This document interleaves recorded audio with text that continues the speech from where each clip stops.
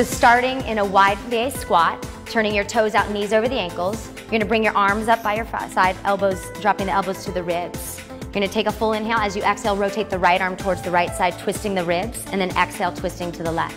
Slowly increasing the intensity of the pace, the punch right and then left, rotating the rib cage, keeping the legs still and getting a little bit lower for more intensity.